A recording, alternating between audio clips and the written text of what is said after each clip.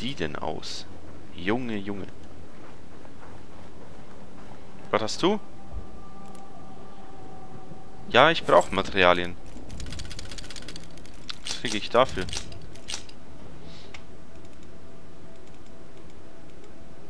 Verarschen.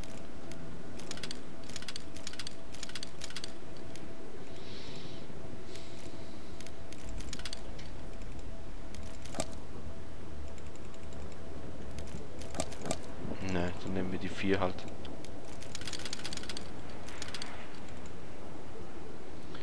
Handeln und dann ab, das war meine Pleite. Ich kann die Waffen halt nicht brauchen. Die Waffenteile. Darum verkaufe ich es wieder. Besser vier Teile als nix. Tag 29. Ich denke bis Tag 30 machen wir heute.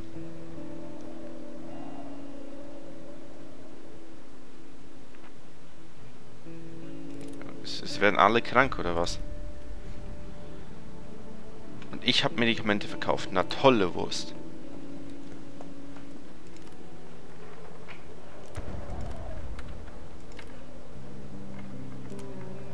Das kann ja das wieder reißen heute.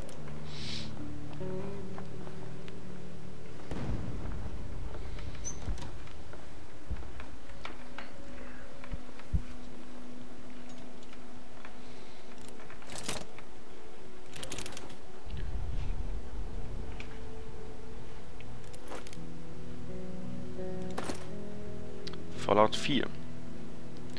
Da unten spielt der Kumpel gerade. Entschuldigung. Äh, ich bin mir am überlegen, ob ich mir auch Fallout 4 hole. Ich habe es mir halt noch nicht angeguckt, wie es so ist. Dein Ernst. Ähm, deshalb mal gucken. Kommt ja auch ein neues Tomb Raider, Tomb Raider raus. Ähm, Xbox Only, glaube ich. Äh, muss ich mir angucken. Aber erstmal sollte ich mein altes Tomb Raider durchspielen. Ich habe es auch noch nicht durch. Ist auch nicht mh, hm, keine Lust dazu, irgendwie. Äh, das neue Need for Speed. Ich habe mir das neue Need for Speed geholt für Xbox One. Ja, ähm, ja viele schlechte Kritik. Ich muss ehrlich gesagt sagen, ich finde es toll. Ich finde es wirklich ein gelungenes Need for Speed. Ähm, klar, es hat hier und da Macken. In meiner Hinsicht, die größte Macke ist und bleibt das Handling. Das Handling ist zum Kotzen, teilweise. Und ich fände es noch schön, irgendwie eine manuelle Schaltung zu haben. Weil gerade beim... Es ist sehr, sehr driftlastig. Ähm, und gerade beim Driften ist, ist eine manuelle Schaltung halt einfach ein Segen. Weil sonst bist du halt gefangen im Gang. Und du kannst dich ja nicht mal irgendwie dazu animieren, zu schalten. Und ja, das, das finde ich ist ein großes Manko. Ich hatte schon ein paar Situationen, wo ich gerne runtergeschalten hätte. Deshalb, äh, sie bringen ja eine PC-Version noch raus, später, irgendwann. Und da finde ich, sie sollten äh, einerseits das Handling generell überarbeiten und halt äh, Dingens, manuelle Schaltung. Weil es, es, es geht arkadisch und trotzdem nicht so arkadisch. Ich meine, ich beispielsweise Forza Horizon es ist ein Arcade-Rennspiel, oh, was aber einen coolen Mix vom, vom Handling her finde ich, einen coolen Mix von Simulation und Handling, äh, und, und, und Handling und, Arcade hinkriegt. Also, das, das ist, Forza Horizon 2 finde ich, hat das ziemlich perfekt gemacht, was das Handling dort anbelangt. Ähm, ich finde, sie sollten das irgendwie implementieren. So Handling in, in, in dieser Art irgendwie. Weil, ähm, das Handling, das ist für den Arsch. Das Tuning finde ich eigentlich ganz okay. Äh, es hat zwar ein paar Autos, die haben... Da ist der Tuning ein bisschen mager ausgefallen. Aber ich finde es okay. Also im Gegensatz... Ich meine, klar... Äh, viele... Es, es, es gab diverse Moto, äh, diverse Zeitschriften, die dieses Spiel absolut fertig gemacht haben. Ich finde, das hat es nicht verdient. Ähm, man darf nur halt nicht erwarten, dass es ein Underground 3, 3 wird, weil die können halt nicht von jetzt auf gleich hier so mit zack ähm, ein komplett neues Spiel so herausbringen, wie es in Underground halt war. Meine Underground 2 war meiner Hinsicht nach das beste Need for Speed, was es je gab. Da, ziemlich nah gefolgt von Most Wanted. Ja, ich finde Need for Speed Undercover, äh, Underground 2 war das gelungenste Need for Speed seiner Zeit. Was heißt seiner Zeit? Ähm, bis jetzt. Klar, die Grafik war nicht so toll, aber ich muss ganz ehrlich gestehen, wenn das Gameplay super Bombe ist, dann interessiert mich die Grafik nicht wirklich. Also klar, es soll halt nicht irgendwie so sein, dass man, dass man Pixel sehen kann. Aber eine halbwegs gescheite Grafik und das Gameplay okay. Stark okay, das ist für mich super. Das, das, das, das stört mich. Ich, ich bin zwar ein kleiner Grafikfreak, aber wenn es dann auf Kosten des Gameplays ist, dann muss ich sagen, ne.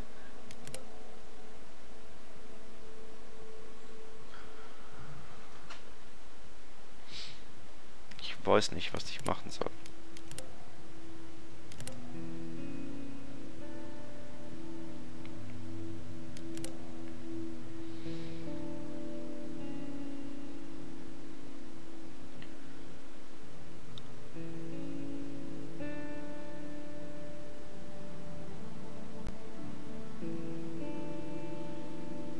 Sollen wir zu Hause bleiben? Weil unsere Leute sind krank. Ich glaube, wir bleiben jetzt mal eine Nacht zu Hause. Weil irgendwie... Militärstützpunkt ist kacke. Weil Militär. Die bringen uns um. Supermarkt ist auch Gefahr. Auch Militär. Das Zerstörte Villa ist auch kacke. Bleiben wir mal zu Hause. Tag 30. Ich wurde geplündert. Äh...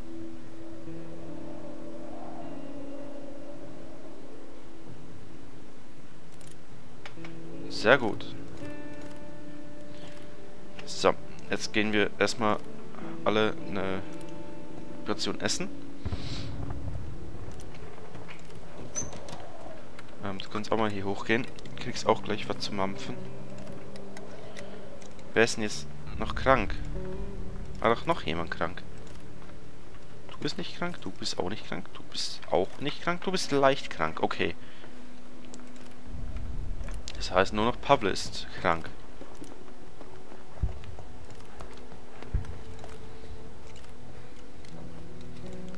Jetzt aufstehen.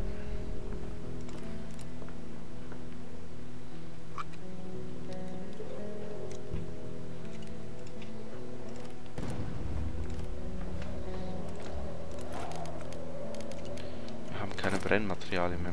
Mist. Wir müssen Feuerdingens bauen. Das ist doof. Wir haben extrem wenig Brennmaterialien. Vielleicht müssen wir noch den Stuhl, den Stuhl zerhauen. Komm, wir hauen den zu Klump.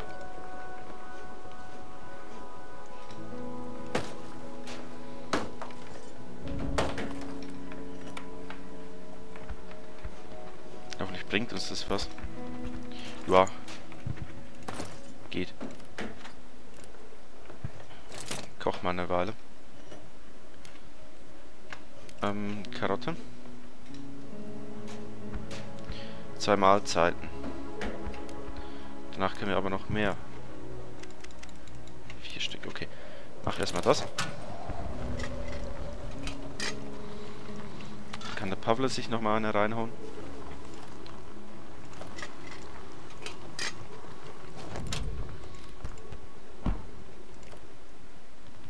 Danach kann er sich nochmal hinlegen, weil er ist krank.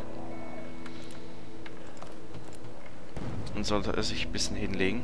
Und schon. Wie viele Brenndinger haben wir jetzt? Sieben. Ähm, dann gehen wir zu den Öfen und heizt die ein bisschen ein. Äh, woran liegt's? Kein Wasser. Dann Petri Heil.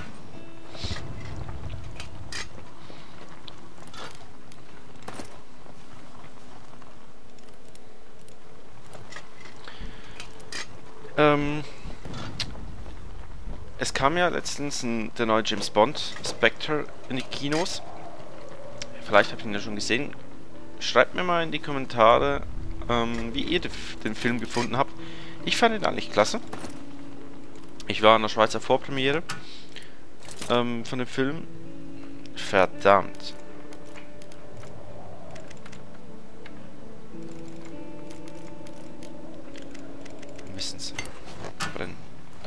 Ich war an der Schweizer Vorpremiere des Films und ähm, im Hallenstadion. Und ich muss sagen, es, ich, ich, ich habe weniger erwartet. Ich fand ihn wirklich gut. Ähm, das Einzige, was mich gestört hat, war der, der Titelsong. Der von Sam Smith hieß was, glaube ich. Ähm, den fand ich nicht passend. Ich fand, der passte nicht zum James Bond. Aber ansonsten fand ich ihn wirklich cool. Ähm, den DB10, Aston Martin, ähm, auf den ersten Blick, ich habe den Film zweimal geschaut. Einmal äh, Vorpremiere in Englisch und dann war ich gestern äh, gestern heißt, das war der 27. November, ähm, war ich nochmal im Kino mit meinen Kumpels und habe den auf Deutsch geschaut. Ähm, beim ersten Mal muss ich, habe ich gesagt, der DB10 ist pottenhässlich. Aber jetzt, weil ich ihn nochmal gesehen habe, im Film drinne, muss ich sagen, eigentlich sieht er ziemlich nah aus wie der Jaguar, ähm, der neue. Ich weiß gerade nicht, wie der heißt. Ähm, es sieht dem ziemlich ähnlich. Ähm, von dem her nicht mal allzu... Äh, äh, sieht er für mich nicht mal allzu schlecht aus. Ähm, ja. Ich fand ihn ziemlich gut. Schreibt mir in die Kommentare, was ihr davon haltet. War er halt... Ich will jetzt die Leute nicht spoilern, die ihn schon noch nicht gesehen haben. Aber es ist halt äh, sozusagen eine, eine, Fortsetzung von Skyfall. Das darf ich sagen. Äh, wenn ihr Skyfall geschaut habt, dann kommt ihr zu 100% raus, äh, was, um was es im Film geht. Ich musste jetzt auch zweimal schauen, um wirklich zu kapieren, um was es eigentlich geht. Ähm, ja. War so ein bisschen komisch, aber gut. Ich fand ihn wirklich klasse. Wieder mal so ein richtiger James, Bo James Bond.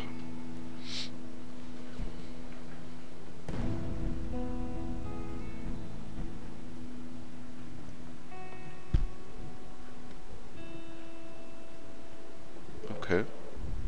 Ich dachte eben, es hätte an der Tür geklopft. Dem war nicht so. Okay. Tag beenden. Die Nacht.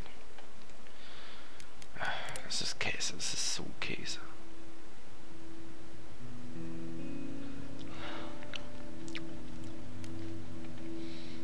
Blendern. Wache stehen. Nimmt Spaten noch mit. Ach, wir können dort... Das ist ja der, der, der, der Gang unten durch. Ist ja hier voll vergraben. Vielleicht können wir dort noch Sachen finden, wenn wir, wenn wir buddeln gehen. Das, das wäre was, ne? Geh mal buddeln. Moin, moin.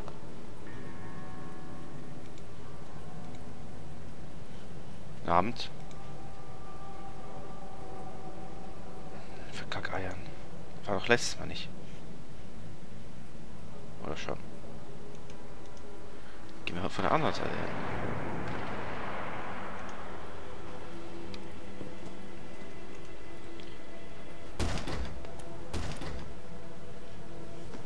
Moin moin.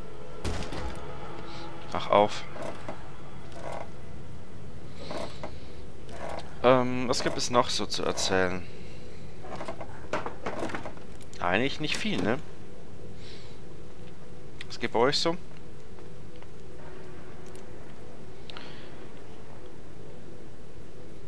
Nicht viel zu erzählen habe ich wirklich nicht. Ähm, ich habe ja jetzt seit Juni Führerschein. Und auch mein Auto, dem ich sehr, sehr zufrieden bin. Ähm, ich werde im Sommer vielleicht nochmal ein Video dazu machen, wenn ihr das wollt. Spätestens, wenn wir damit zu Gamescom fahren, ähm, werdet ihr den auch mal sehen. Mitsubishi Galant, ähm, könnt ihr mal googeln. In der Premium-Ausstattung hat er noch so ein bisschen Vers Verspoilerung rum. Könnt ihr mal googeln, wenn ihr lustig seid.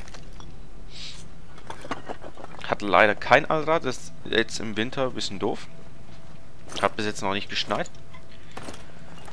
Aber ähm, gestern auf der Autobahn hat es sich schon komisch an angefühlt, wo es kalt war. Aber die Autobahn ist auch ein bisschen doof. War ich mit meinem Filmwagen schon drauf und der, der ist ziemlich gerutscht. Also bei 120 ähm, und Regen ähm, fand der Filmwagen nicht so geil. Jetzt gestern hat es nicht geregnet und es war nicht wirklich viel besser, deshalb ich denke mal, die Autobahn ist einfach von was. Der hat eine Waffe. Habt ihr das gesehen?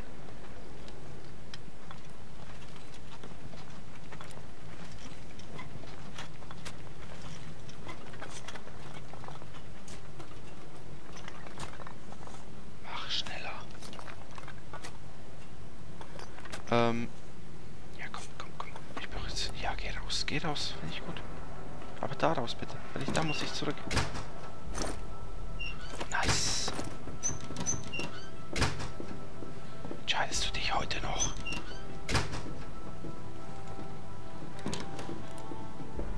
Alter, der hat... Ich, ich, ich glaube, ich habe eine Pistole gesehen, oder? Nicht.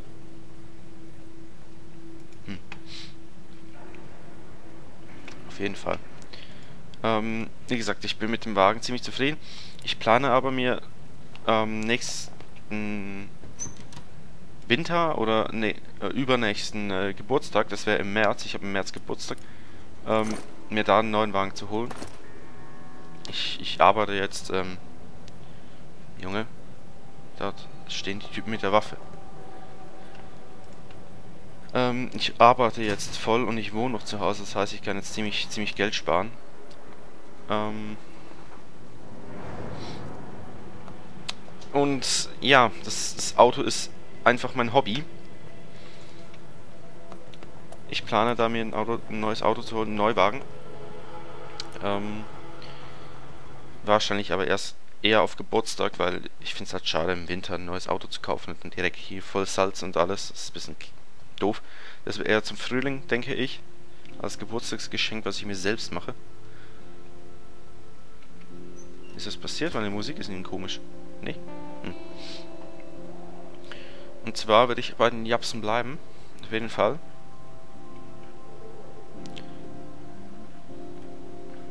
Hey, wieso?